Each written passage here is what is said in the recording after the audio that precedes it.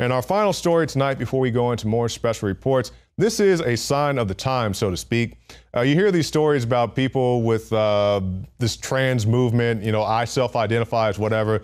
Now we have a 30 year old man who self identifies as a high school student. The guy is six foot nine, and he's out there dunking on all these little kids in Canada, the star of the basketball team. It, it just amuses me to no end that this guy had to go back to high school to become a sports star. I mean, the guy probably could at least played in the D League. He's a big guy, but uh, it's just uh, some food for thought before we go on to our other topics. So stay tuned. This is the InfoWars Nightly News, and we'll be back right after these messages.